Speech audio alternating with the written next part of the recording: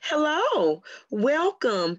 Thank you for joining the ladies of Sister to Sister as we address the last words that Jesus spoke from the cross. We won't say they were his final words because we know that he was resurrected and spoke again.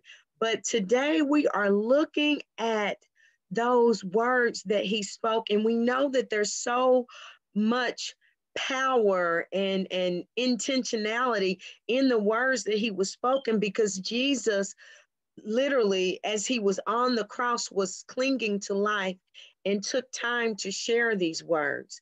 In John 10 and 18, we see Jesus saying that no one takes my life. I lay it down. I have authority, he said, to lay it down and to pick it back up again. And so, literally, he was using his authority over life as he was hanging there in pain to share these words with us. And these are not things that we only need to consider um, their impact at resurrection time or at Easter time, but literally, these are life giving words that we can apply daily to our walk. And so we just want to take some time to look at each of the things that Jesus spoke. We have sisters that are joining us from various places to share. Some may come with a sermon, some may come with a conversation. In whatever form or manner that um, we come in, our prayer is that you will be encouraged, that you will be empowered, and that you would feel embraced by our loving Lord and Savior. So, first, we're going to kick off with Pastor Helen Salim L, and she is going to talk to us about his approach, about Jesus's approach to the cross. Listen in. I thank you for this opportunity that has been given. In Jesus' name, amen. Approaching the cross. Good Friday is a solemn day for the Christians um, on our Christian calendar because it's meant to commemorate the passion, the suffering, and the death of Jesus Christ. He was crucified on a cross positioned outside Jerusalem at a place called Golgotha. Crucifixion was a form of torture and execution used in the ancient world. It involved binding a person to a wooden post or tree using, in fact, a rope or a nail. The Jewish historian Josephus viewed crucifixion as the most wretched of death. And when you read about it, you know, even though it talks about it actually in the Bible, when someone gives you a description of it, you can just kind of in your mind imagine, and it causes you to feel some pain inside when you think about what he went through for us. Because of the long drawn out suffering, horrible manner of execution, it was viewed as a supreme penalty by the Romans. When we usually speak of Good Friday, we remember that it's written about uh, what the agony that Jesus went through, being spit on, being tortured, being mocked, being stripped of his clothing and having a scarlet robe put on him as they mocked him, having that crown of thorns placed on his head, when we speak of the words that he said, we always have the seven last sayings of Jesus on the cross. And so we talk about um, how he was hanging on the cross, crucified between two criminals, and how he asked for forgiveness for his torturers, and how he was comforting one of the criminals, and he crying out to his father. And we uh, always talk about how he gave uh, credence to his mother and to uh, uh, John, you know, bringing that relationship together, proclaiming his thirst and fulfillment of Psalm 69 21 declaring the completion of his work when he said it is finished, and then commending himself into God's hands. But before Christ willingly placed himself on the cross, he had to approach the cross. Jesus was always on the way to the cross. The cross was always his goal. We have to remember that he was flesh. Now, don't forget that he was flesh. It tells us in John chapter 1, verse 1 In the beginning was the Word, and the Word was with God, and the word was God. Then when we drop down to verse 14, it tells us that, and the word became flesh and dwelt among us, which lets us know that the word, which was God, was became became flesh. So we know that the word, which is God, became flesh, and so he was incarnate, which means that uh, the word was in human form, and the word was the only son of the Father. So one cannot look at Jesus and say, well, he was able to approach the cross. He was able to do this because, after all, he was the Messiah. We have to remember that he was also like this flesh. He had everything that we have currently. So I want to take a look at the journey as he approached the cross.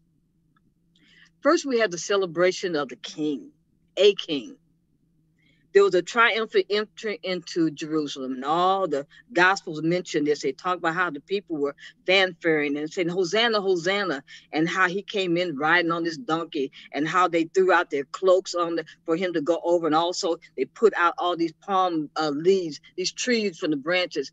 They the branches from the tree. He put they put all this out. They were uh, like, Hallelujah, glory to God, you know, for his being there when he came in.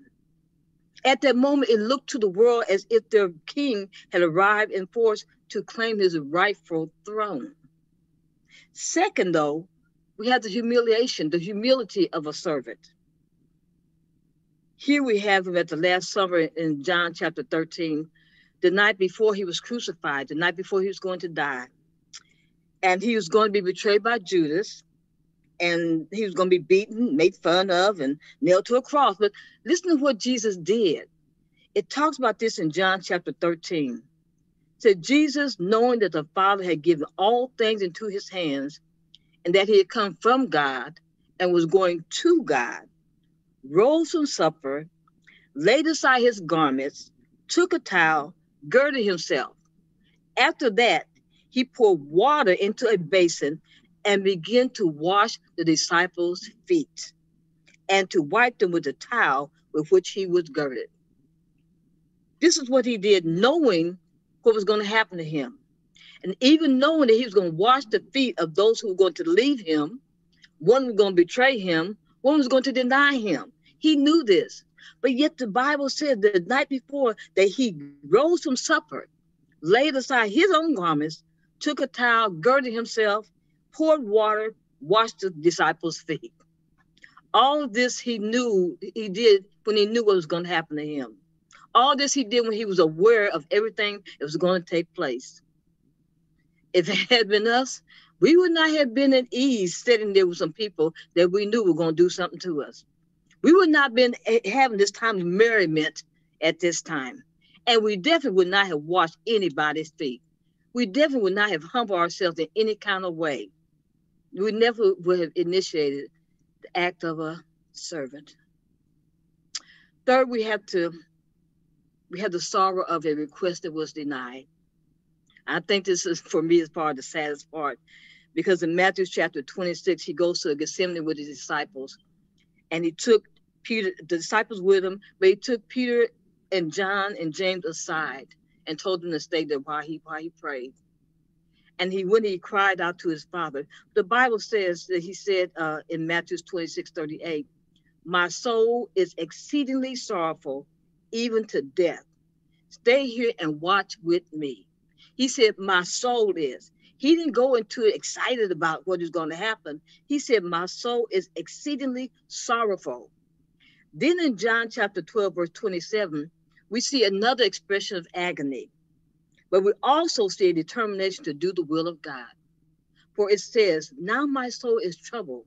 And what shall I say? Father, save me from this hour. But for this purpose I came to this hour. He did say, first of all, my soul is troubled. He did say, Well, should I just ask the Father to remove me from this hour? But he also said, But for this purpose I came to this hour. Jesus prayed to God three times for the cup of wrath to pass from him. Then he declared it was not his will, but that God's will had to be done. But in Luke's account, I want us to notice something about the prayer in Luke's account. The Bible says, and being in agony, deeply distressed and anguish, almost to the point of death, he prayed more intently, and his sweat became like drops of blood falling down on the ground he prayed more intently to the point that his sweat became like drops of blood. This was the agony that he was going through.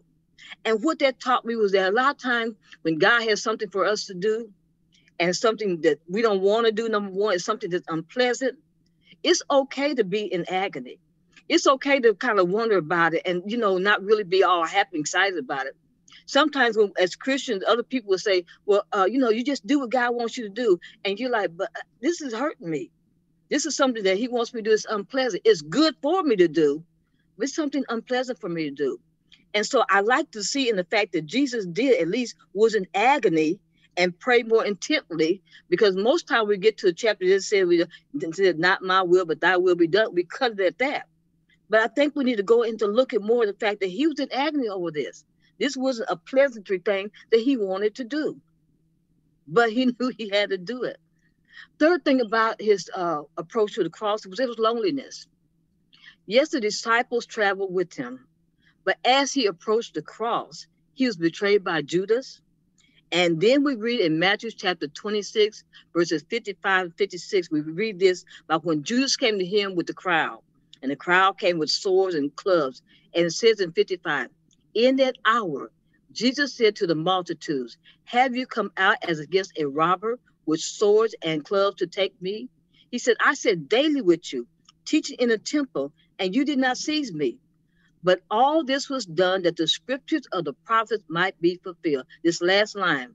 Then all the disciples forsook him and fled not only went away from him and left him alone, but they ran away from him in an incentive manner, like cowering sheep, the shepherd being uh, about to be smitten. There were those whom he had called. These are those whom he had called. These are those who he sent for as his apostle.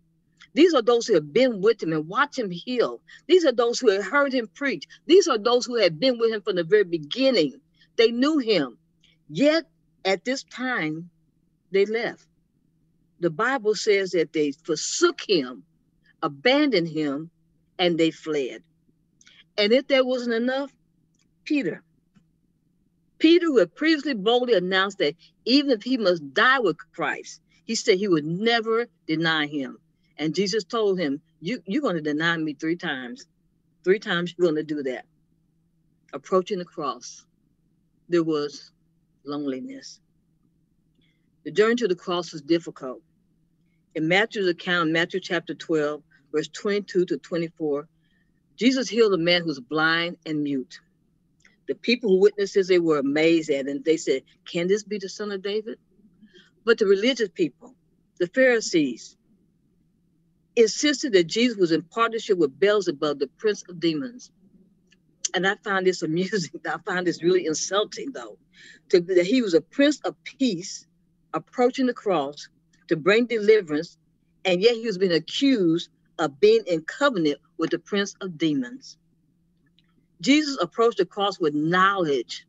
The cross was not an accident. The cross was not a good plan that had gone wrong. The cross was his destiny.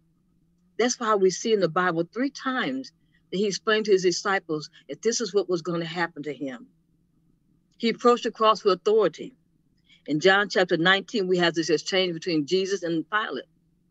Pilate took Jesus back into the headquarters and asked him, Where are you from? But Jesus gave no answer. Pilate demanded, Why don't you talk to me? Then he said these words Don't you realize that I have the power to release you or crucify you? Now Jesus speaks. He says, You would have no power over me at all unless it were given to you from above. So the one who handed me over to you has the greatest sin. Jesus was not afraid to indicate to Pilate that he had no power, no power to claim. Pilate had just as much power as was given to him, and his ability extended no farther.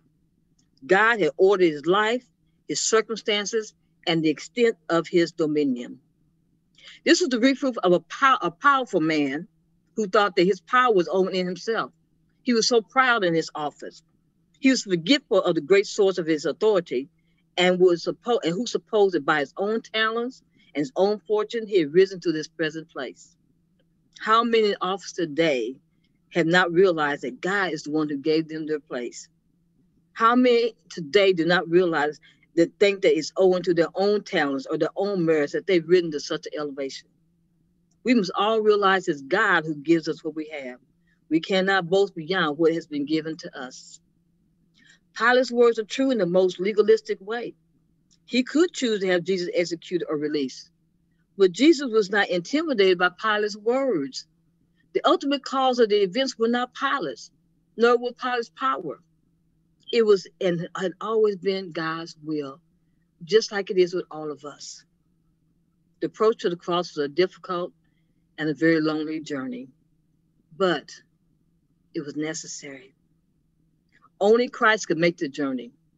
Only he could walk that road and drink that cup that the Father had given him to drink. Only he could do it.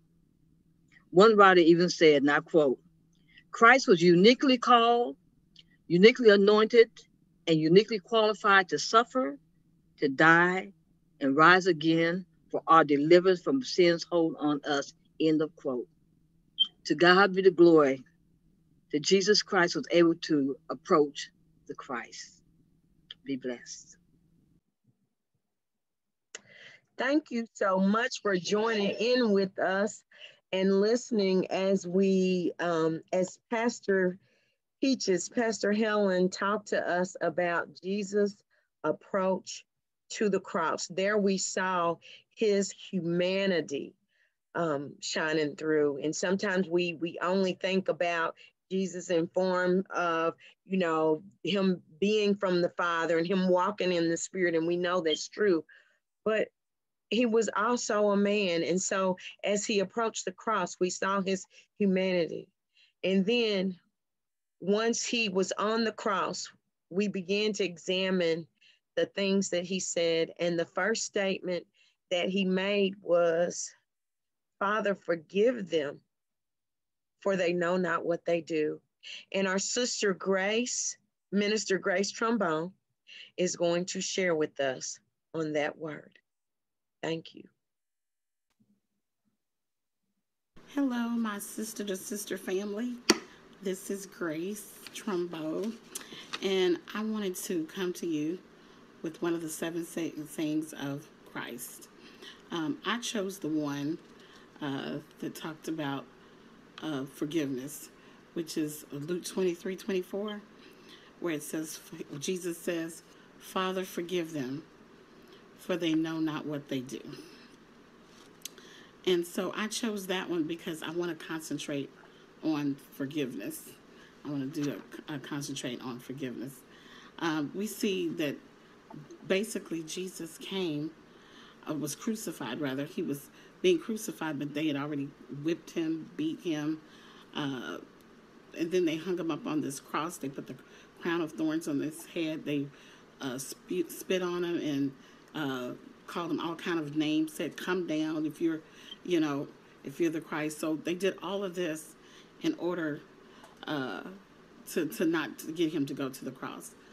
And Jesus says, Father, forgive them, for they know not what they do. I, that's amazing to me that he was being tortured and unto death. And his last, one of his last words was, Father, forgive them for they know not what they do. Amazing. Um, how many times have we uh, had to be forgiven for things we didn't we didn't know we did, or vice versa? How many times uh, did we have to forgive people who, you know, they didn't know what they did, they didn't know what they did wrong, but we had to uh, basically forgive them. And I look at the scripture in Matthew 18, 22, where it talks about Peter, he's asking uh, Jesus about forgiveness. He's like, How many times do I need to forgive? Uh, seven times seven? And Jesus is like, No, not seven times seven. Try 70 times seven. So I, and so I see that forgiveness is continual. It's, it's not just a one-time thing and you're done. It's a continual thing forgive, to forgive others. Uh, constantly we need to forgive to have our hearts pure. Also, we see Stephen being stoned. Uh, he they drug him out of the city, stoned him to death. But his last words was, "Father, don't don't lay their sin to this to their charge." So basically, Father, forgive them because they don't know what to do. So I realized that forgiveness is awfully important. It's awfully important to the believer. Uh, even when people have wronged you, Um, and you know they sometimes they don't care. They they wrong you. They don't care. We still have to be in a posture of forgiveness. We still have to be in that posture of forgiveness, asking God not to punish them, but to forgive them. Uh, some scriptures I wanted to leave with you. Uh, Ephesians 4 and 32, it tells us, and be kind one to another, tenderhearted, forgiving one another, even as God, for Christ's sakes, has forgiven you. Corinthians 3 13, forbearing one another and forgiving one another. If any man have a quarrel against you, even as Christ forgave, gave you, so also do ye. So you got to forgive. Luke 6:37 in that last phrase it says forgive and ye shall be forgiven. Also in Mark 11:25 and when you stand praying forgive if ye have an ought against any that your father also which is in heaven may forgive you your trespasses or your sins. So basically even if somebody has done you wrong, before you go and you ask God for anything, you need to leave your gift at the altar, go to them, ask for forgiveness, and then you're able to come, you know, come to the Father with your request.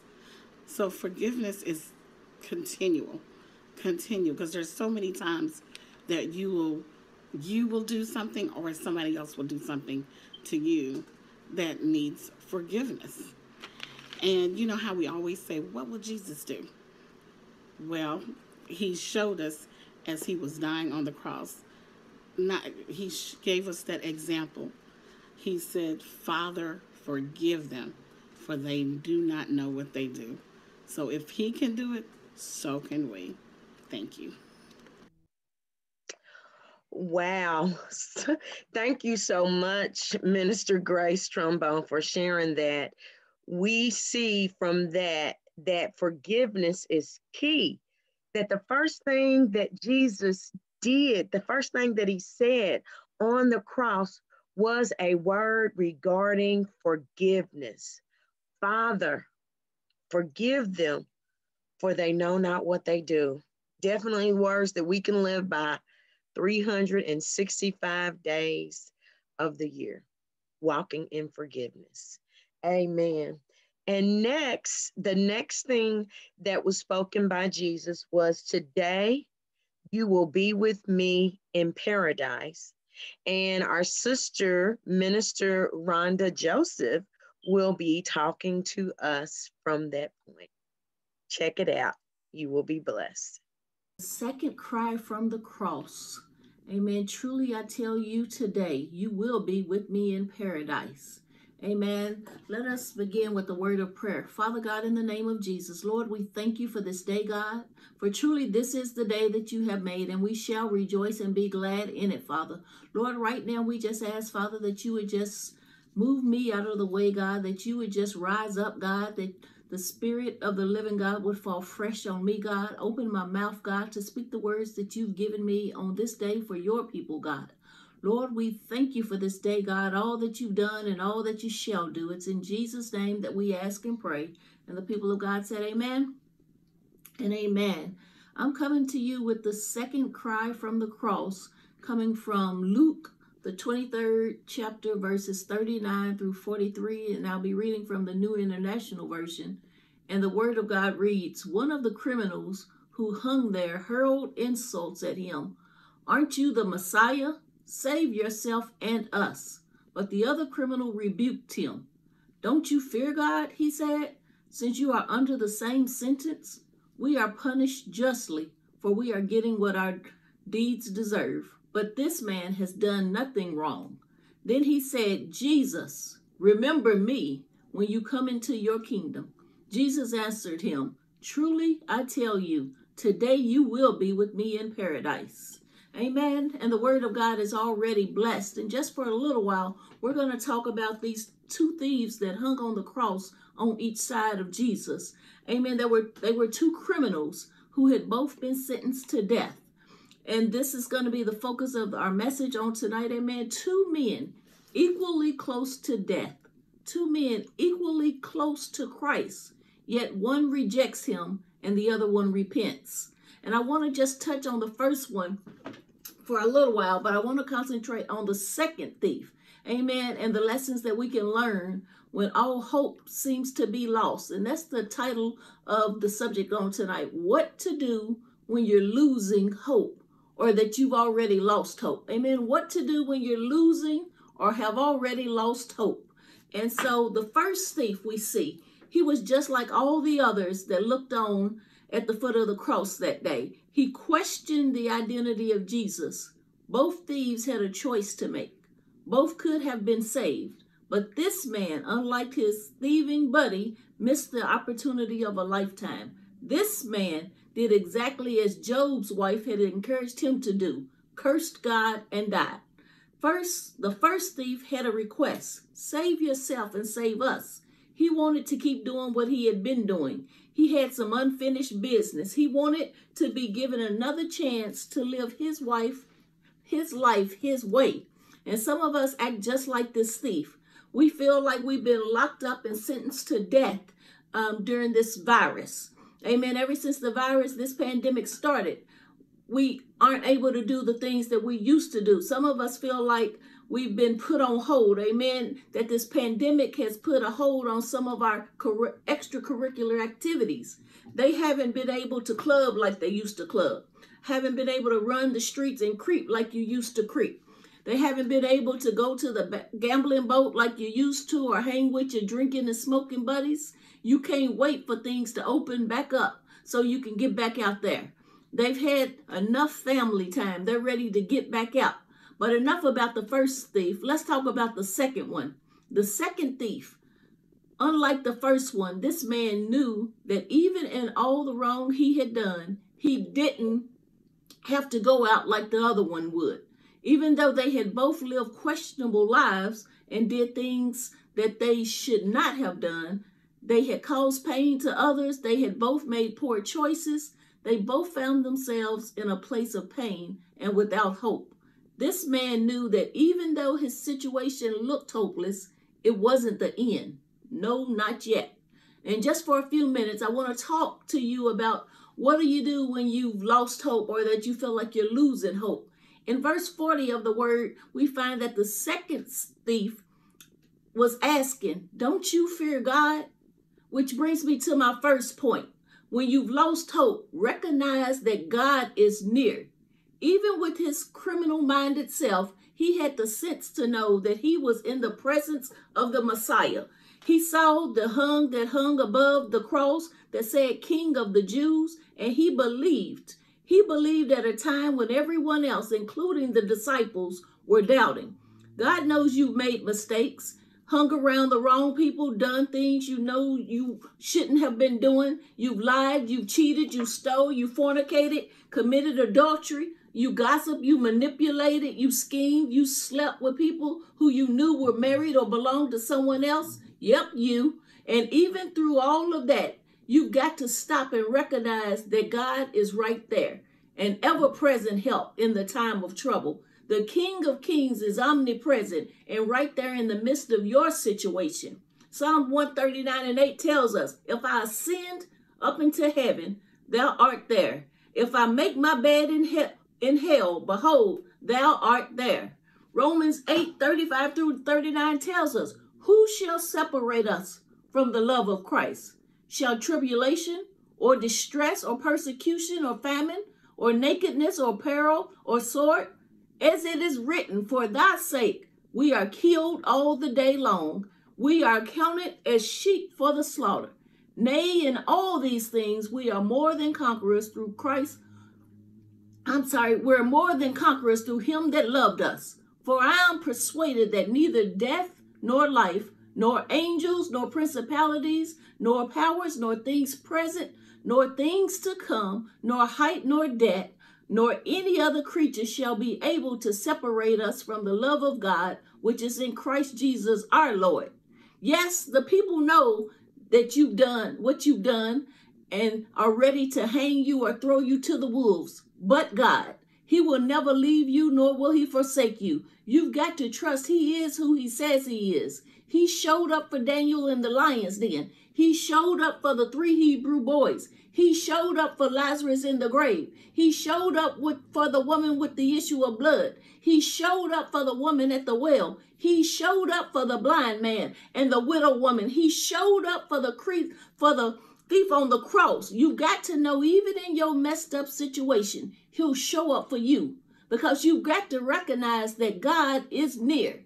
Even when you're feeling hope, hopeless, you got to know that God is near. Not only do you need to recognize that he's near, but secondly, you got to repent of your sins. This man, the second thief, confessed for being a sinner. He was truly repentant and acknowledged his need for a savior. He acknowledged that Jesus was innocent and would reign as king. Verse 41 tells us, he says, We are punished justly, for we are getting what our deeds deserve. But this man has done nothing wrong. Even in all the bad or wrong you've done, you can be forgiven if you ask.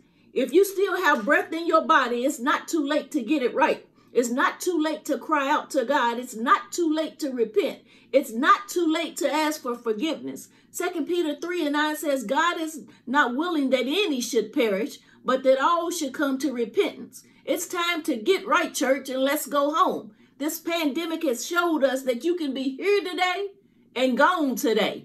So many of us have gone through so much this year. We've lost family members, we've lost jobs, we've lost homes and cars, we've drained our bank accounts, and our 401k has been depleted. We've been diagnosed with sickness and disease, but yet we'll still we'll, we are still here. God has a plan for us. Jeremiah 29 and 11 says, For I know the thoughts that I think toward you, saith the Lord, thoughts of peace and not of evil, to give you an expected end. Let the joy of the Lord be your strength on tonight. So even when you're losing hope or you feel like all hope is gone, recognize that God is near. Repent of your sins. And thirdly, receive God's grace. In verse 42, it says, The second thief said unto Jesus, Lord, remember me when thou comest into thy kingdom. Jesus said unto him, Verily I say unto thee, Today thou shalt be with me in paradise. Remember me, he said. I know I haven't got it right all the time, not even most of the time, Lord, but I'm asking that you remember me. He humbled himself and was asking for forgiveness for Jesus to remember him. We might twist our mouths and wonder how can he even think to ask God um, to forgive him, amen, to remember him. But we may not have been a thief like him, but surely the word says that all have sinned and fallen short of the glory of God. The thief asked to be remembered, and we ought to be asking God to remember us on today. He was on this earth, but yet he desired to be in the kingdom of God. Matthew 6 and 33 says, Seek ye first the kingdom of God and his righteousness, and then all these things shall be added. Amen. The second thief was seeking those things which were above. He knew that the world would pass away. Amen. We've got to know that Jesus didn't even respond to the first thief. Amen. He only responded to the second thief. Sometimes you can't get caught up with the naysayers and what they're saying and thinking. Amen. Don't even give them the time of day. Jesus responded to the second man, the second thief, and he let him know today that you will be with me in paradise. Today, I can fix your worries. Today, I can stop the pain. Today, I can shut the mouth of the naysayers. Today, I can meet you right where you are. Today, I can turn your mess into a message. Amen. He let him know today that you will be the head and not the tail. I know what you've been doing. Amen. But know that God's grace is sufficient. No matter what you've gone through in this life, Know that there is still hope. It doesn't matter what your bank account looks like. It doesn't matter what they've said about you. It doesn't matter what the doctor has said. Whose report will you believe? God is able to turn it around. He's able to give it all back. Amen. He's able to make a way out of no way. He's able to turn your situation around. Joel 225 says, and I will restore to you the years that the locust has eaten, the cankerworm and the caterpillar and the palmer worm, my great army which I sent among you. The Lord is saying, I can give it all back no matter what you're going through. You can be with hope today. Don't be without hope. Cheer up, my brother. Cheer up, my sister. Recognize that God is near. Repent of your sins and receive God's grace and mercy today. The best is yet to come. The same God that talked to the thief on the cross wasn't killed. He gave up the ghost. He went to the grave, but he got up three days later with all power in his hand. You can have hope today that we serve a true and living God, and there is hope for tomorrow.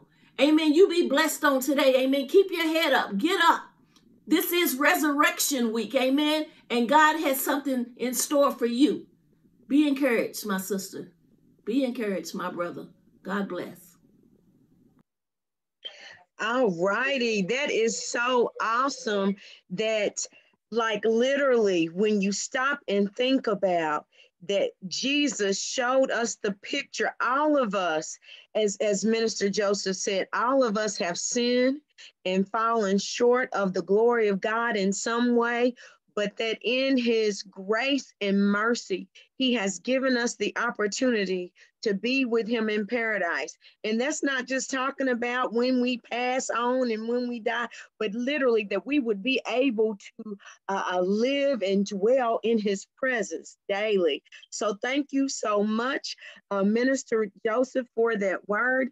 And the, the next thing that Jesus spoke from the cross was him addressing his mother, Mary, and addressing John, who was um, called the disciple whom he loved. And I was tasked, my name is Martina Young, and I was tasked with talking about this third cry, this third declaration um, from the cross. And it, it, it comes from John 19.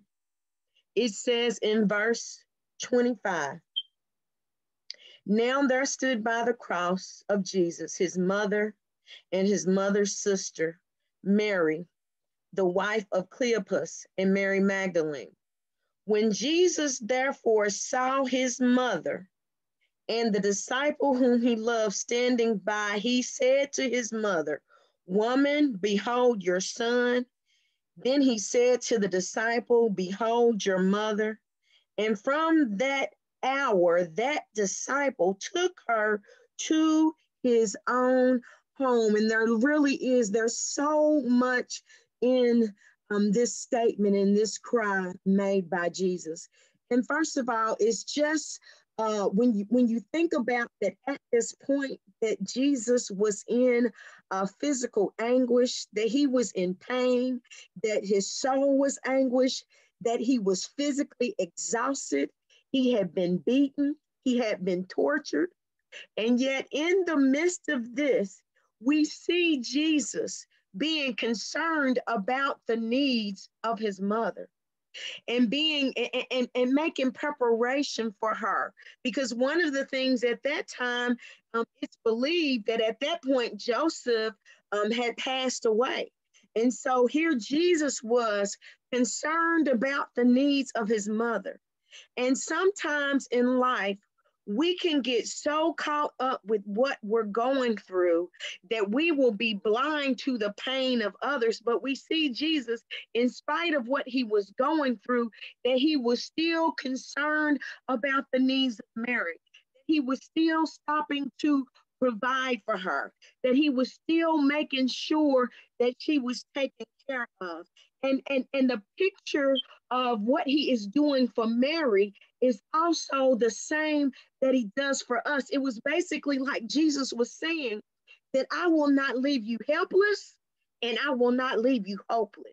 So literally, and really even in in in her in him asking John to be the one to care for his mother, that even was something like to give to John to say, this is this was a, a, a, precious, Mary was precious to Jesus because she was his mother. And to say, John, I am placing her in your care. In, in no situation, regardless of how ugly it looks, does God desire that we will feel like we are hopeless or helpless. Regardless of what it looks like, there is still hope, there is still help.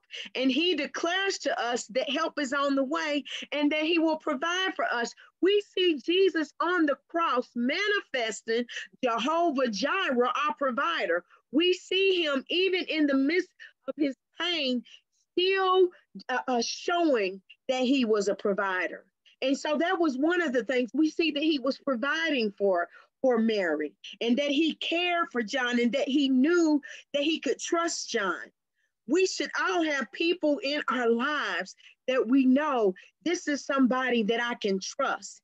And, and, and if, if when we find ourselves in places where we're challenged in that area, that's where we pray and ask God, send me, send, send to me the people in my life that you would have that I can trust and operate in that manner.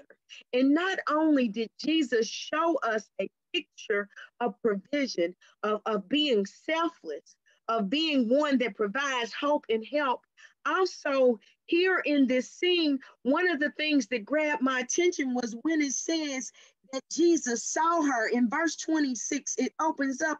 It says, When Jesus therefore saw his mother, he saw her. Know that that that you're not unnoticed by God.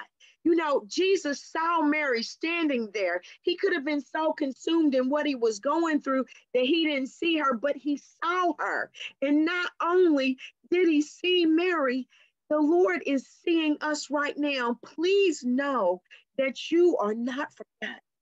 Please know that you are not overlooked. Sometimes life and circumstances can leave you feeling like that nobody sees you and that nobody cares. But I want to guarantee to you today that God sees you. He knows where you are. And not only does he see you and know where you are, that he is making plan for your provision. Stay near him. Mary did not run away from Jesus' side. Mary and John and the others that were mentioned were there at the cross, even in his hardship. He stayed there. And so I encourage you that even when you're in a situation where it feels like your flesh is being crucified and your hopes and your desires and your dreams are being crucified, stay near the Lord. Stay near him. He sees you and is providing for you. And the other message that we can receive from this uh, cry and this word is when you think about it from Mary's perspective. You know, Jesus, though he was the Son of God, he was still Mary's child. She's, yes, he was given to her by the Holy Spirit, but she still carried him in her womb. And for her to stand there, can you imagine the pain that she was going through as she looked at her child being crucified? It talks about that he had been beating to the point where he could not be distinguished. And so imagine the place of Mary standing there with her child, the, the, the child that she had birthed, the child that she had carried in her womb, there, beaten, bloodied, in pain on the cross and her not being able to do anything. And for those um, of you that have children, you know, you you you may be able to picture the anguish and the agony that that would cause. But even for others, what do you do in a situation where there's something that God has given you, that there's something that you have birthed out, that there's something that is precious to you? That there was a, that there was a vision or a dream that God put on the inside of your womb. And it looks like that that dream and that vision that it is dying that it looks like that promise that it is passing away what we want you to know today is that the favor of God will keep you even in situations like that. And I say that because when you go and you look at Luke 2, um, verses 34 through 35, this is when um, when Jesus was a baby and they were in the temple. And and and and Simon comes and says to her that the pain that Jesus was going to go through, she said, it said, he said, it's going to pierce even your uh, very soul. that you're you're you're going to feel this piercing. And when you think about that back in Luke 1 and verse 28, that's where the angel of the Lord came to Mary and said, Blessed are you among women. You, you blessed and, and highly favored are you among women.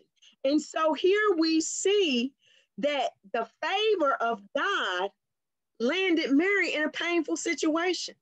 And sometimes in today's times, we get to thinking that the favor of God is all about prestige and houses and cars and money and land and different things like that. And God will bless us in a way in that nature.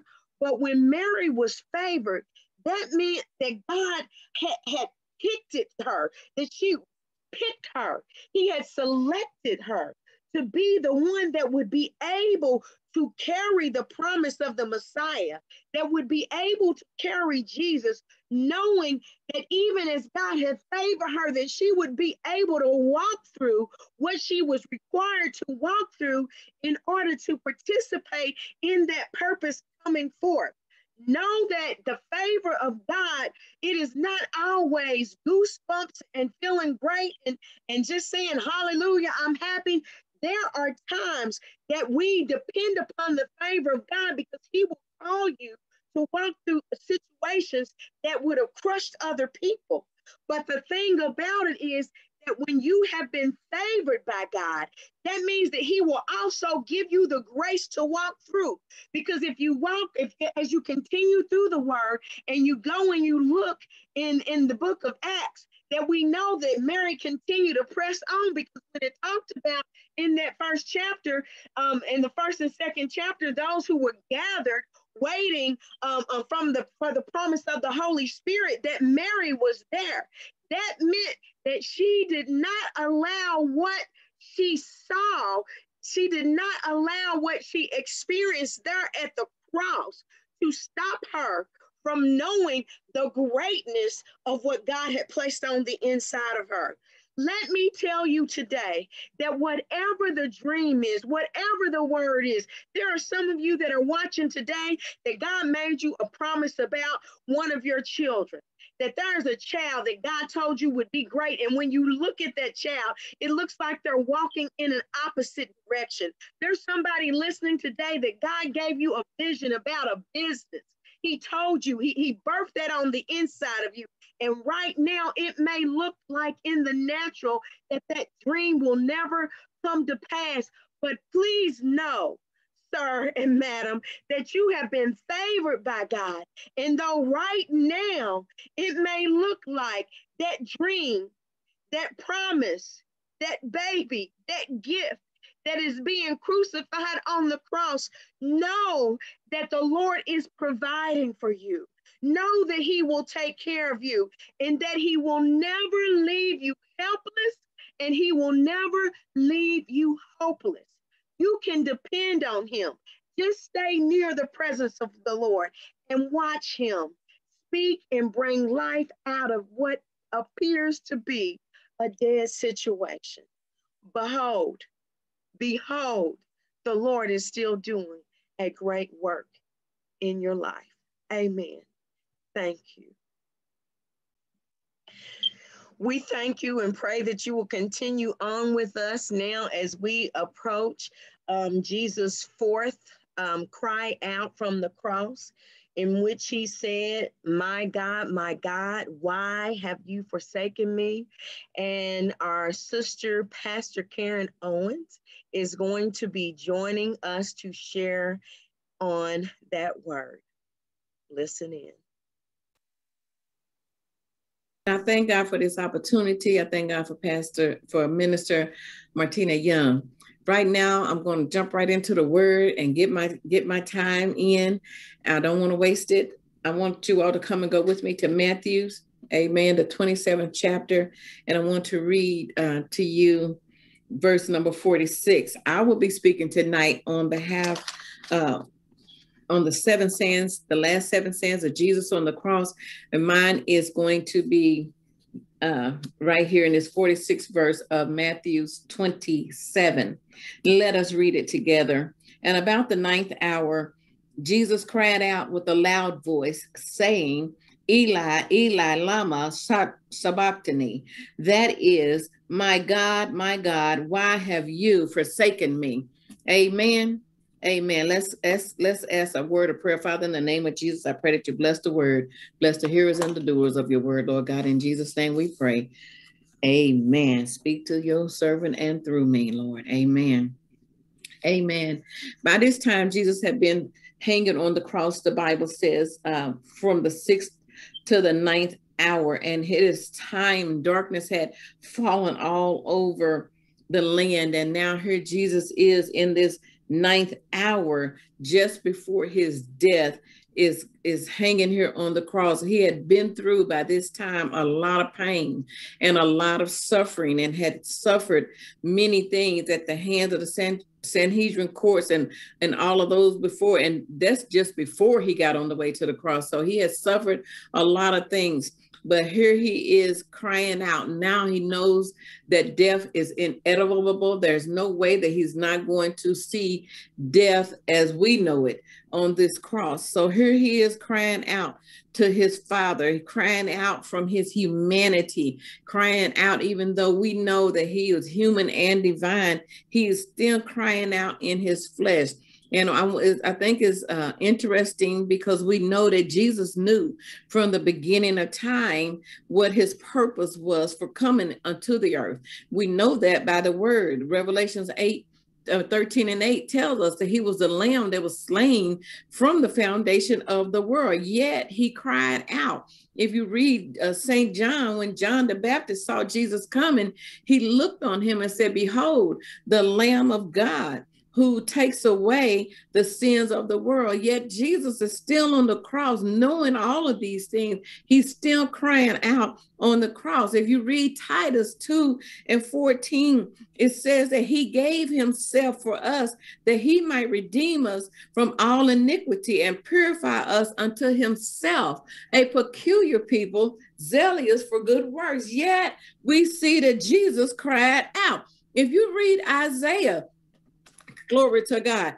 53 4b, it says, we see we esteemed him stricken and smitten by God and afflicted. Verse number five in Isaiah 53 says, But he was wounded for our transgressions, he was bruised for our iniquities, and the chastisement of our peace was upon him. By his stripes we were healed. My point is, Jesus knew the purpose, he knew the plan, yet he cried out. He knew that the plan was for him to come and redeem man's sins. He knew that the blood, the only way for sin to be forgiven, the only way for sin to be completely annihilated would have to be the shedding of innocent blood. He was the lamb, just like the lamb was the Passover in the days of Israel in Egypt. He was our Passover lamb. He knew that, yet he cried out.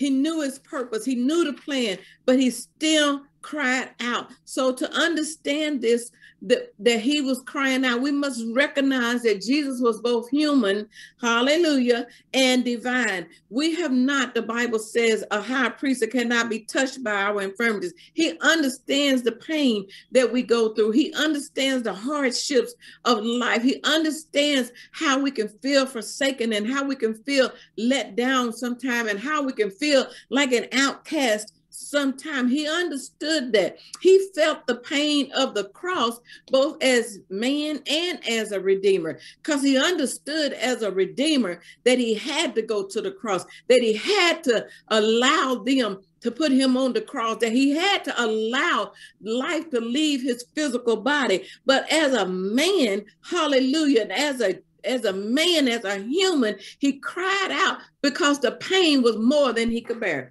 Oh my God. So we thank God for Jesus Christ who died on the cross for us, knowing that he had the power. He cried out as a son who knew his father had the power to change his situation. I don't know about you, but I know I have cried out many times to my heavenly father, knowing that he has the power to change my current situation.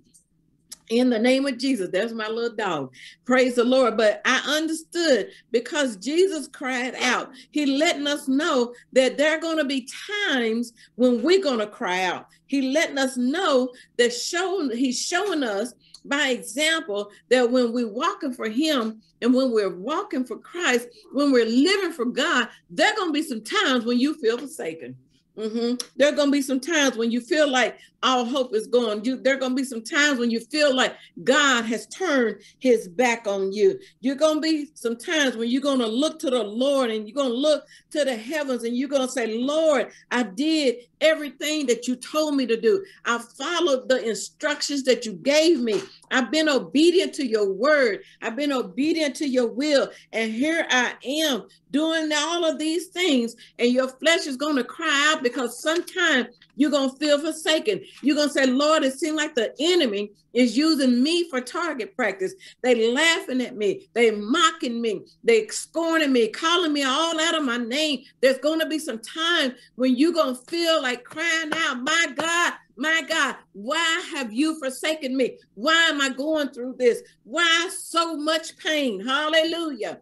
Hallelujah. But I want to encourage you tonight that Jesus showed us the human side of suffering, the human side of suffering when you live in a life that is sold out to God. Hallelujah. But I want to encourage you tonight to look to Hebrews, the 12th chapter, and see what the writer says there. The writer there says, Hallelujah, that we must look, run this race with endurance that is set before us. The race may not be what we want it to be. It may not run. Sometimes the terrain is rugged. Sometimes we wish we could get out of the race, but the race, he says, we must run it with endurance. We must press on until the end. This race that is set before us, this Christian race, this ministry race, whatever the purpose is and the plan for God that God has for your life. And then he encourages us. And let me encourage you to look unto Jesus, who is the author and the finisher of our faith. Hallelujah. Why? It says, Who for the joy that was set before him endured the cross, despising the shame. Yes, we don't like the shame of the cross. We don't like the shame of being humiliated. We don't like the shame of being lied on and mistreated. We don't like the shame that the enemy will place on us. But the Bible says, hallelujah, that he has now been set down at the right hand of the throne of God. Hallelujah. So I want to leave you with these words from Luke 9 and 23. What Jesus said to his disciples if any man will follow me, come after me, let him take up his cross, let him deny himself, take up his cross daily, and follow me. Hallelujah. So I want you to understand that if you feel like you're having a cross experience, if you feel like you're having a crucifixion experience, if you're feeling like you've been forsaken by God, let me tell you something. The cross, the hardship, the pain, it is not the end, it's just the beginning. Hallelujah. It's not the end, it's just the beginning. God is up to something and he will exalt you. The Bible says, humble yourself before God. Hallelujah. Before the mighty hand of God, and he will exalt you in due season. There is a season of suffering and pain, but I encourage you tonight, my sisters and my brother, to know that there is a season of exaltation. Your season is about to change. It changed for Jesus. Hallelujah. And it's going to change for all of those of us who have ever felt forsaken for doing the will of our Heavenly Father. Your season is about to change. You're not set out, you're not thrown out, you're not cast out. You've just been set up for a blessing, for victory. God bless you. Father,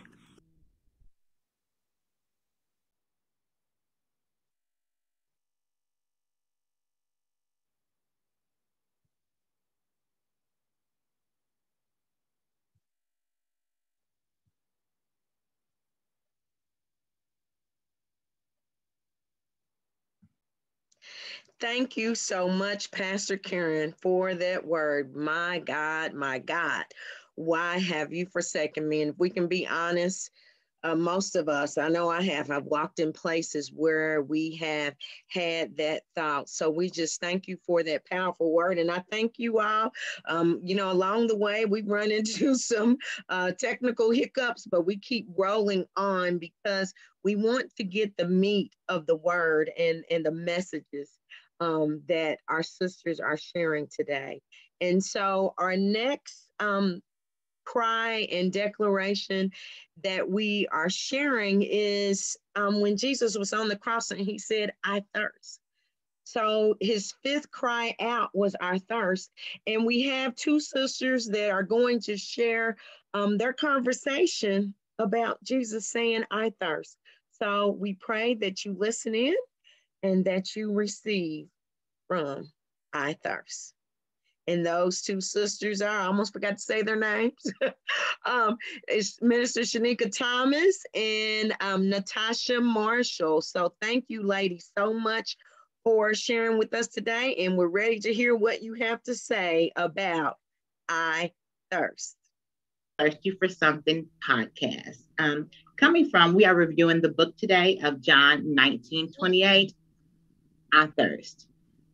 And Everybody's thirsty for something. Hashtag. I like the way you, the way you flow. so we are reviewing today, um, talking about the last um, last words of Jesus. So in those last words, before his death, Jesus was talking about um, how he how he thirsted. He was human, his human form. Um, when he died on the cross, him being as human as we were some of those points in that John 19 to 28 that stood out to us as we were reviewing that book, we're going to talk about because, like I said, we everybody's thirsty for something. So it's just about what are you thirsting for and where are you what are you using to quench that thirst? So we look to Jesus for a reference, right? Shanika and I, so we're going to talk about that today and we're going to make that plain for us. So Jesus, as we look to him for our example, why is this important? Because on that cross there, Jesus, he actually displayed to us that he did deal with struggle. He dealt with struggle, he dealt with hardship, he dealt with death. He actually wrestled with death. Um, and really, what that meant stood out to us as we reviewed that book, or stood out to myself, Shanika. Um, I saw that Jesus could be human, right? So then I want to talk about that book. What do you think about that, Shanika? What about Jesus actually being human right there on the cross?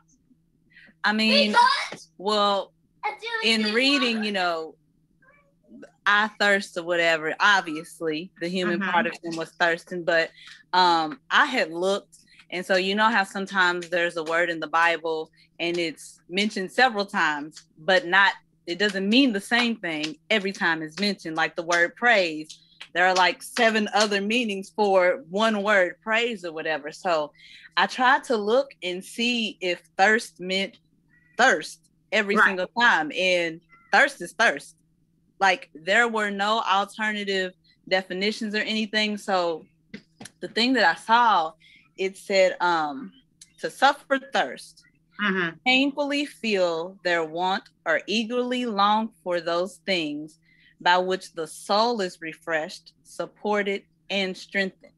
So, like, even though while at that moment in Jesus' humanity, he was like, you know, I thirst, uh-huh. our souls thirst. And at that like time, honestly, yeah. he had taken on him all of the iniquity of mankind. Yeah. So while physically he was thirsty, there yeah. was also a thirst in his soul.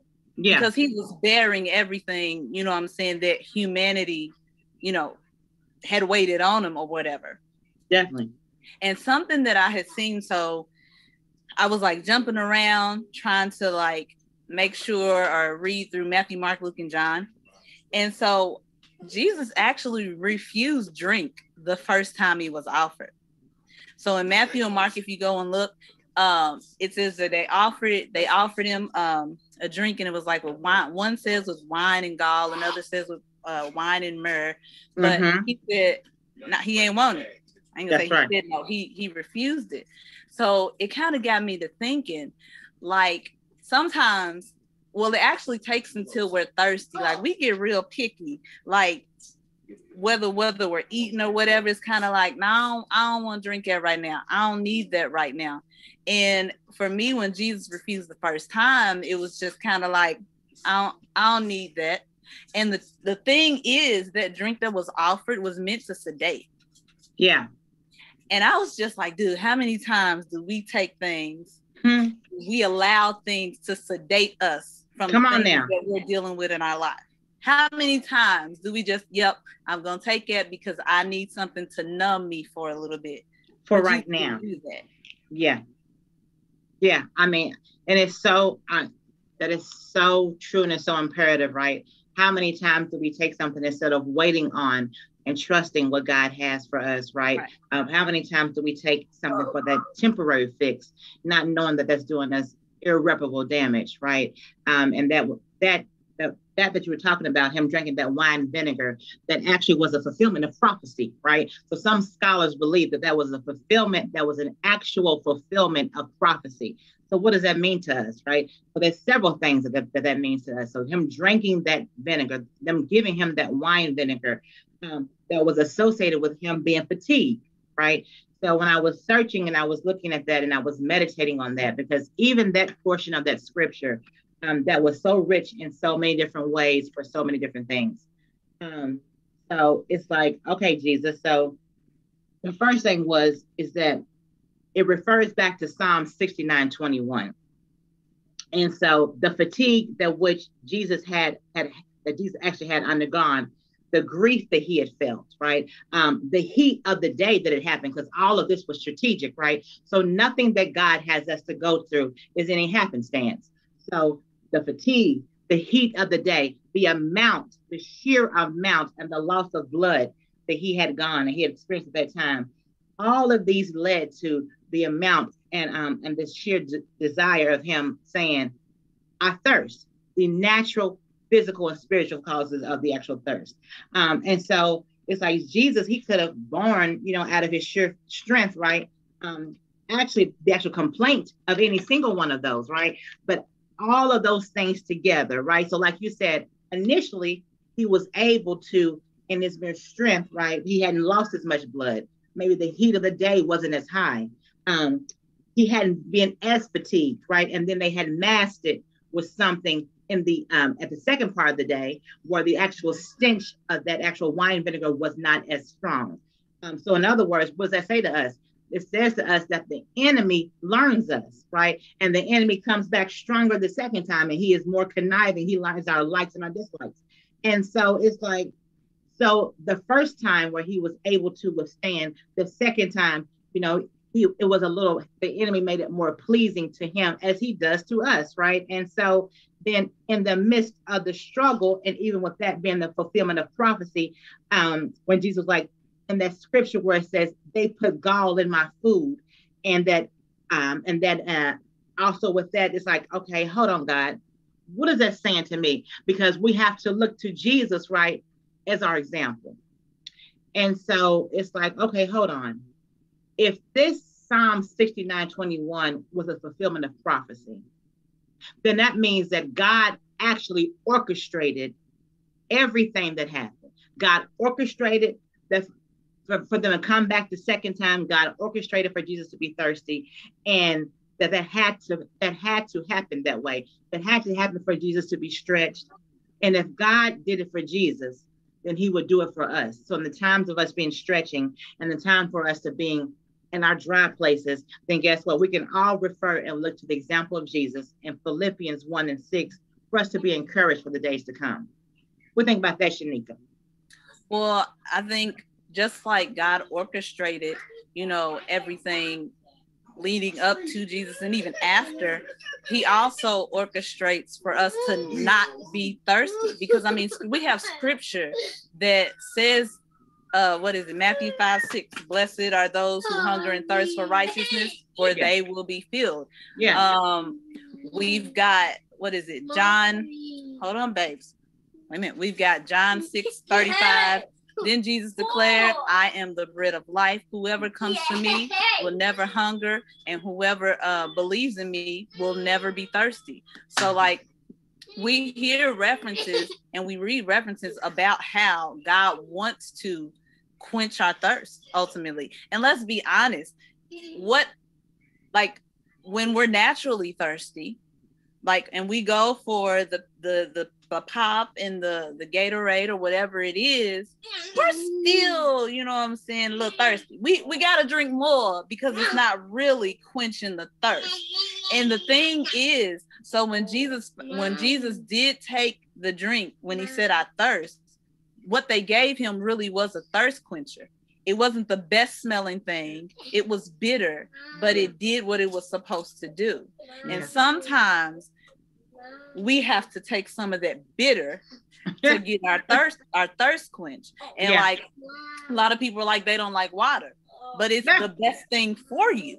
Yeah. That's the thing that's going to quench your thirst. And in the same way in our lives, we're looking at all these other things we we want to um, invest our time in movies and in people and in shopping and in food yeah. and everything else because we're trying to fulfill something but the only thing that's going to fulfill it is yeah. the spirit of god. Yeah.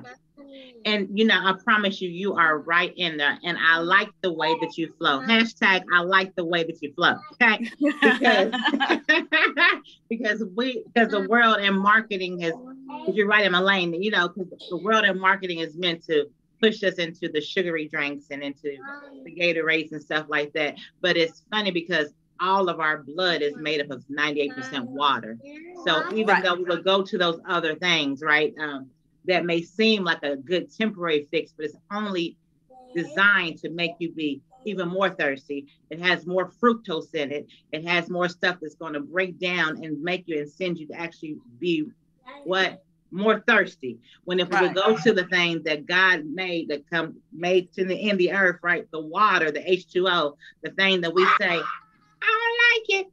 Oh, that's 10. Okay. All right. So we out. All righty. And you know what our ladies did? Thank you so much for them for with their uh, conversation with us. Um, they were sharing their conversation on our thirst. And one of the things that happened with them, and as you see, it literally was just them having a conversation about being thirsty. Um, having an informal conversation because we we want this to be everyday life um, application. Yes, it, it, it, a, a, hoop and a holler is all well and good, but we're coming with everyday, um, just everyday life. And so these ladies, they want to come back and share a little more with us about being thirsty.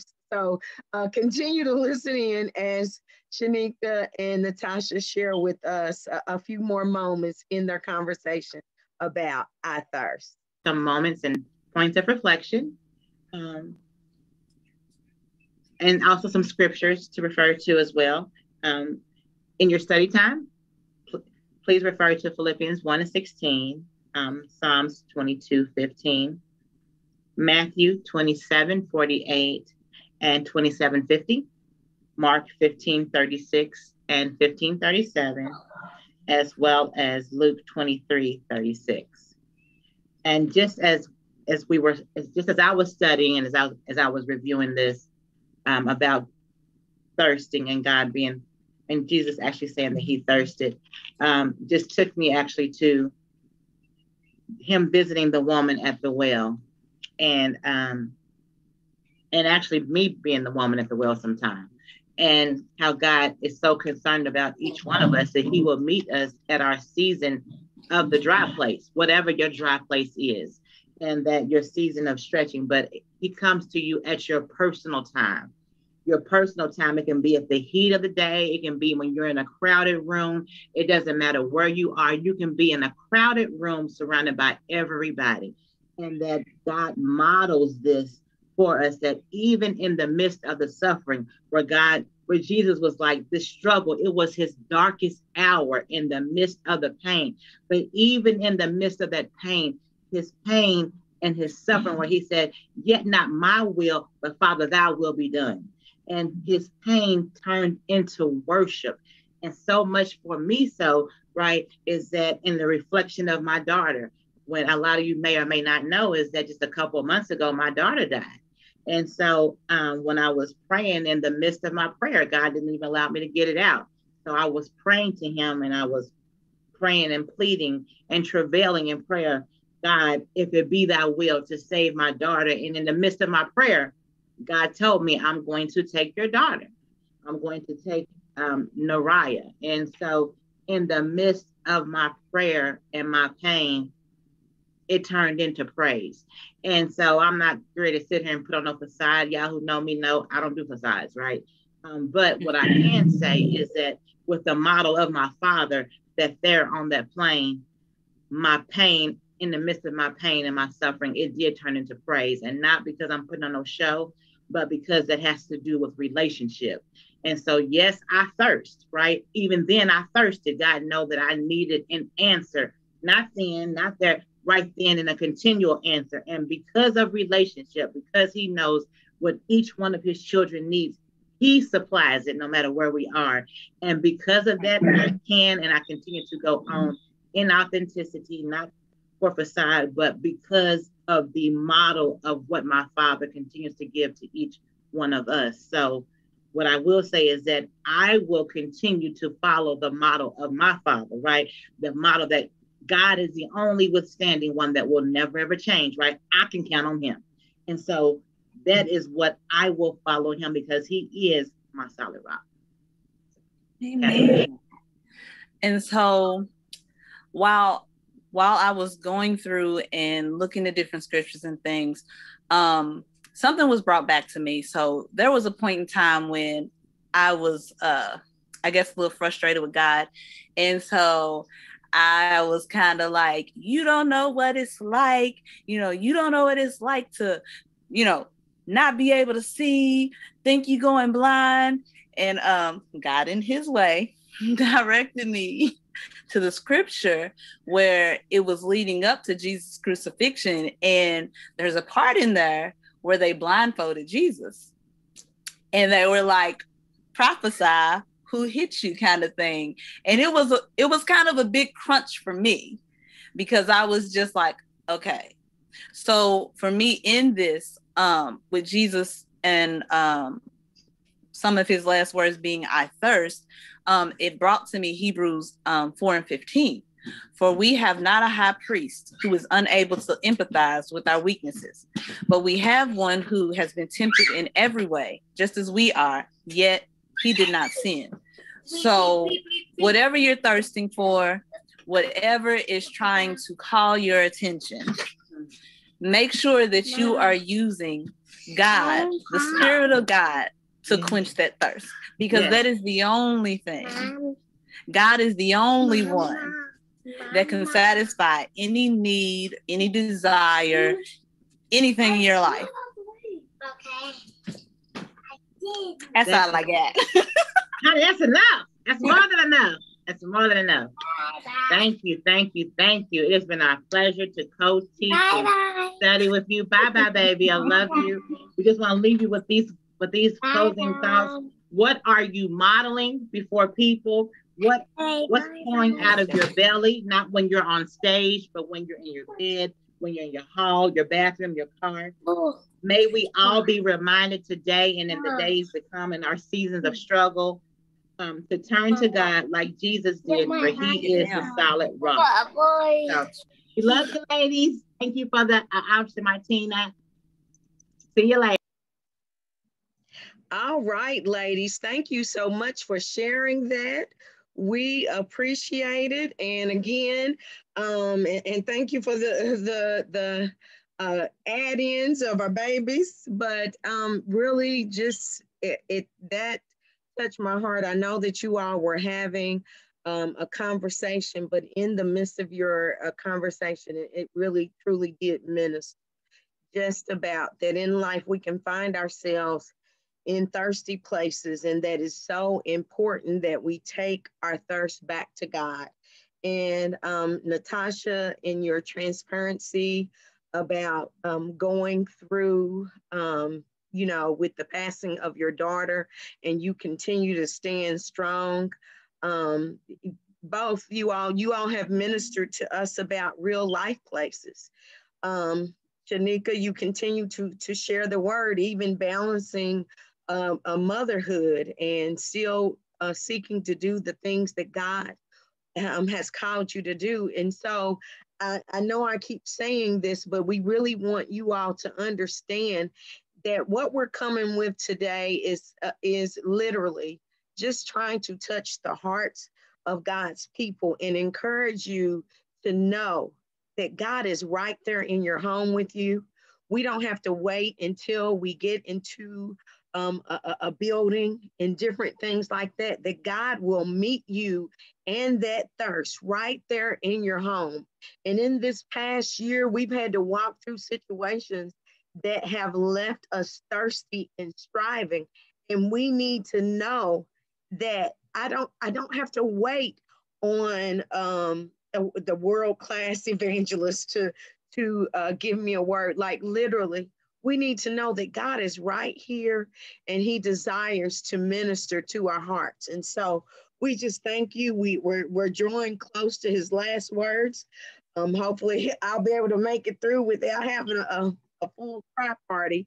But we are continuing on um, to our next word, and it is the sixth thing that Jesus spoke and cried from the cross. And those words were, It is finished. And our sister, uh, Minister Dina Boone Jones, is going to come and share with us about It Is Finished. Thank you. Now, I wanted to talk to you a few minutes about what I believe when Jesus said on the cross, It is finished, what that meant. But first, I want to go over a few scriptures with you regarding Jesus so you can see how I have come up to that conclusion. Let's look at Ephesians 1 through 7. It says, In him we have redemption through his blood, the forgiveness of sins according to the riches of his grace. Romans 5 9 says, Much more than having now been justified by his blood, we shall be saved from wrath through him.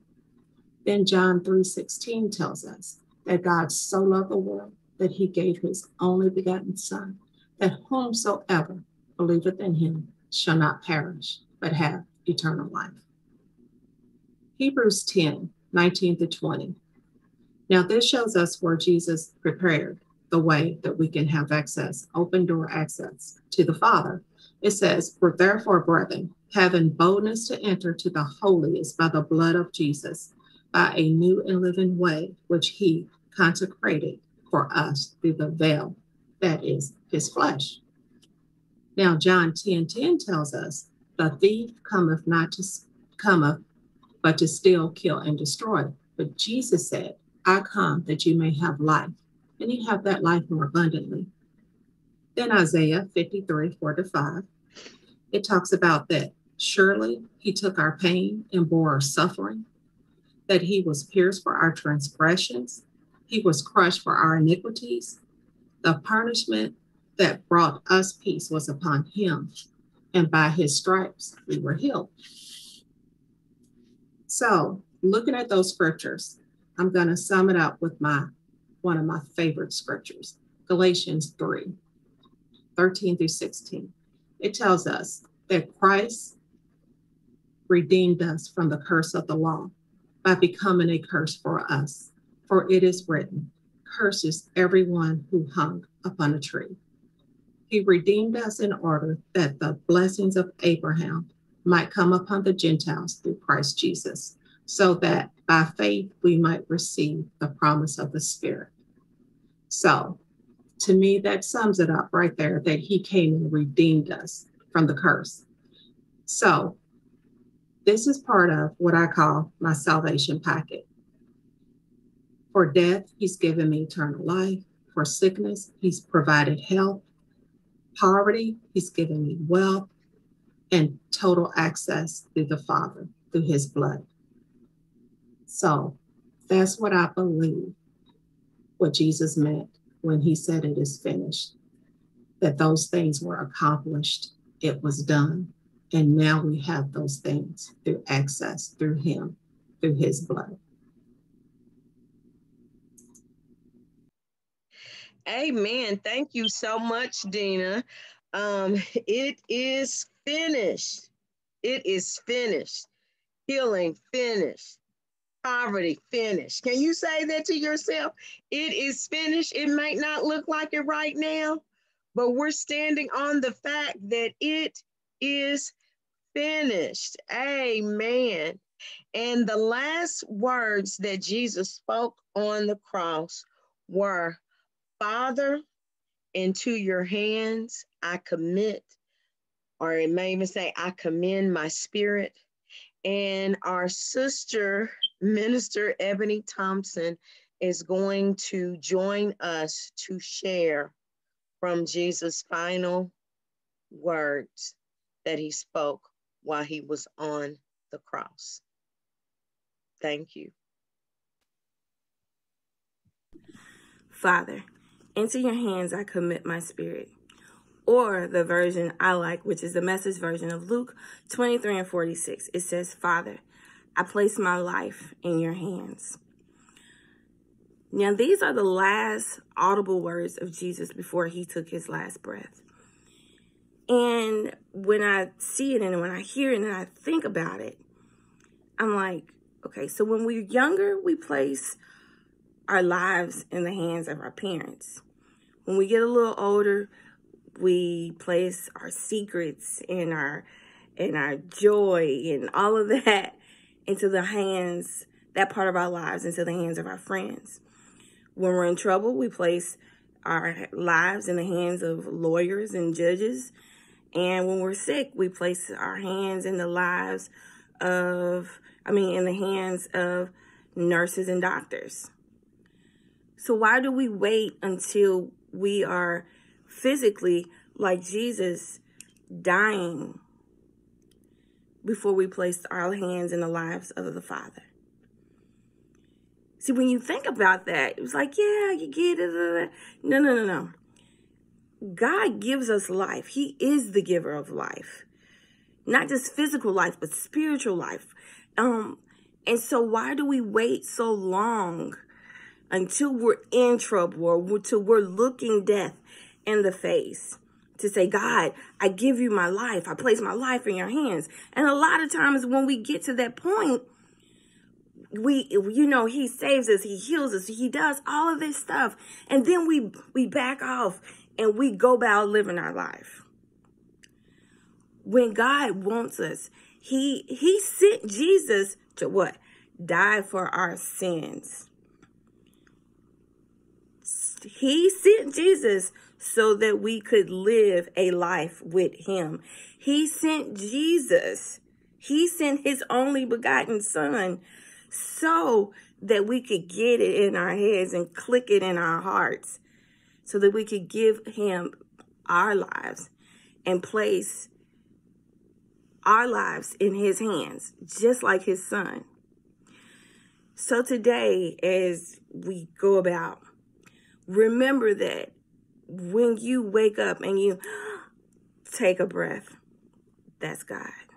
When you place your feet on the ground and you could feel your floor, you could feel the solid foundation, that's God. When you can go outside and you feel that cool breeze on your face, that's God. When you can click those lights on, that's God when you feel that internal joy inside of you, and even if all hell is breaking loose, even in the midst of a pandemic, and you still have it all, and you have your right mind, that is God. So if you can trust Him to heal you momentarily, if you can trust Him to you know, for your financial blessings or to place you on a platform. And all of these other things that we go to God for, the materialistic stuff and all the other stuff that we tend to go to God for, why don't you trust Him to give Him your life wholeheartedly? Because He wants you. He wants you. He loves you. And He's waiting on you. So just like Jesus, when he said, Father, right now, Father, I place my life in your hands. Why don't you say that? Stick to it and live it out. Is every day going to be peaches and cream? No. But I'm telling you, at the end of the day, it is so worth it. Love on God, allow God to love on you, and place your life in His hands. Amen. Amen. Amen. Amen.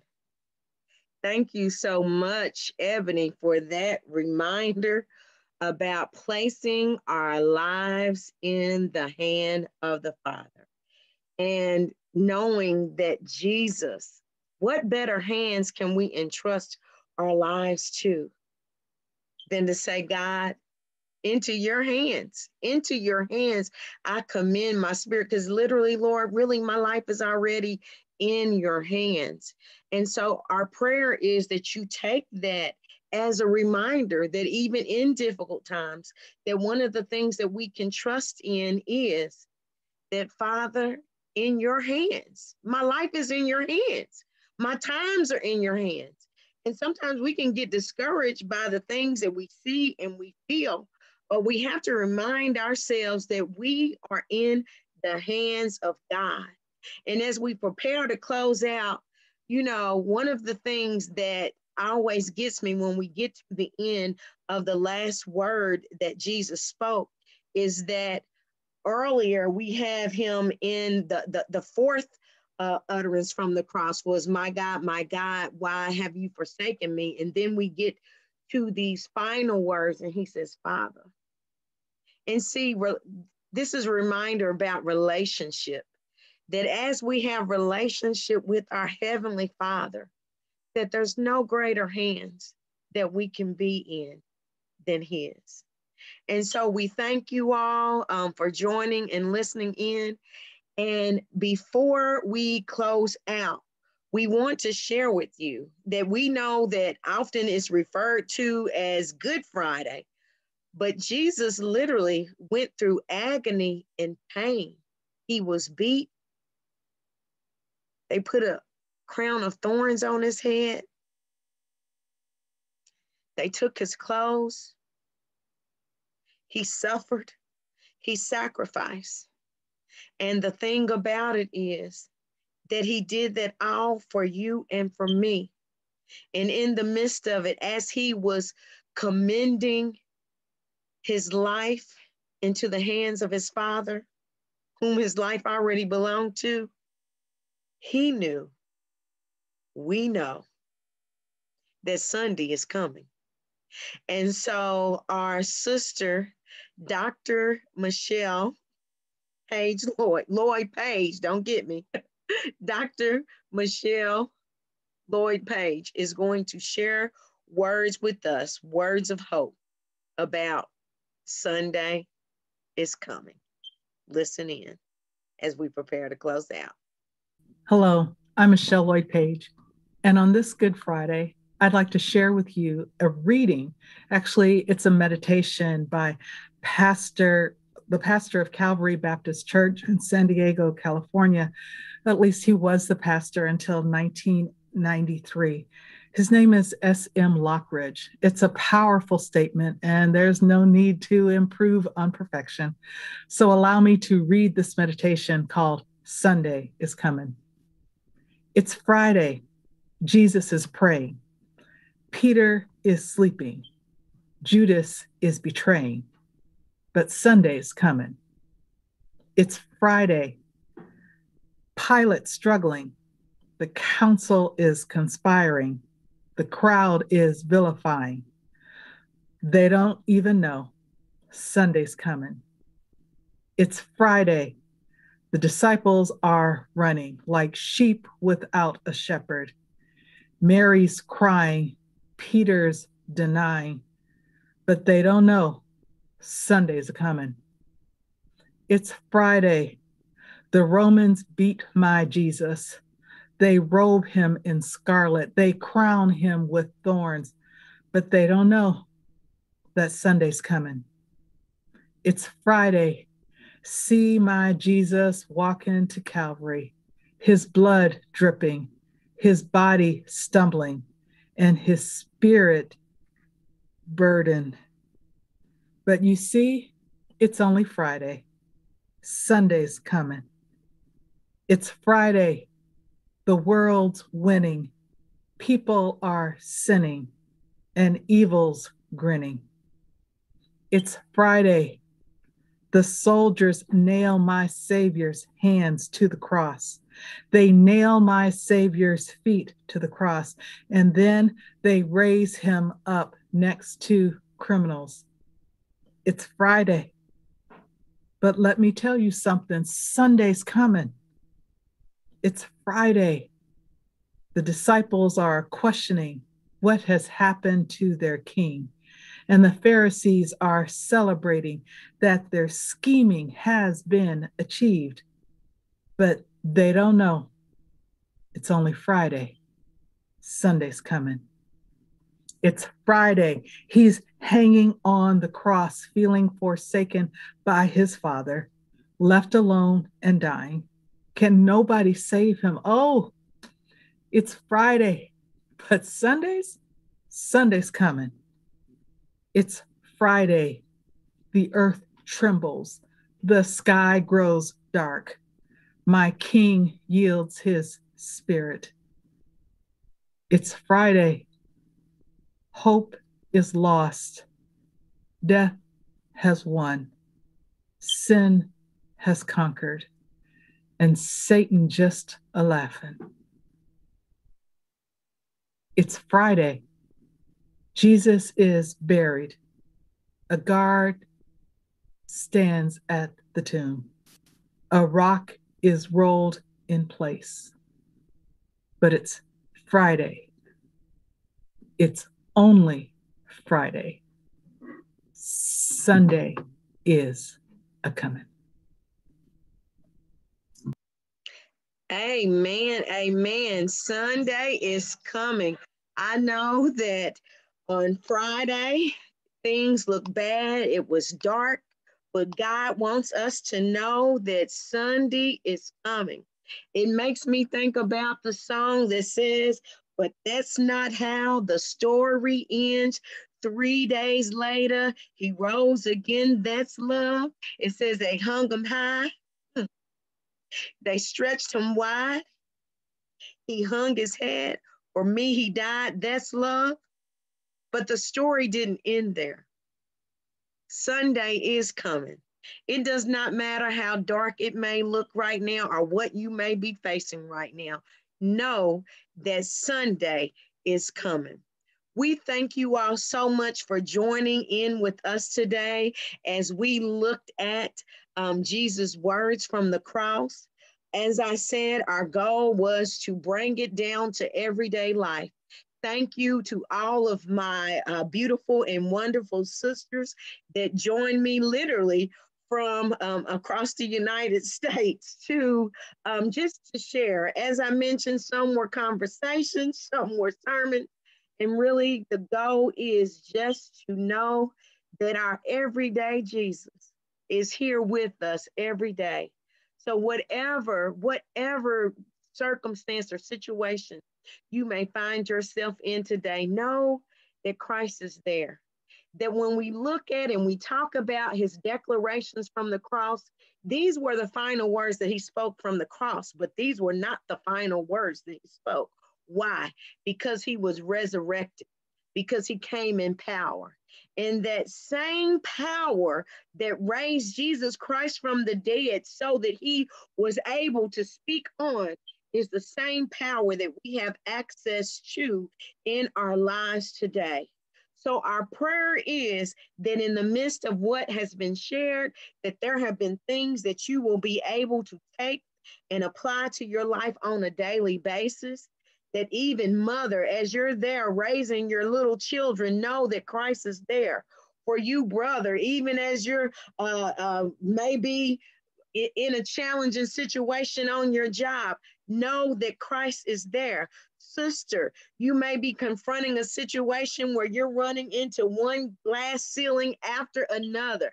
where you're dealing with conflict on your job, know that Christ is there.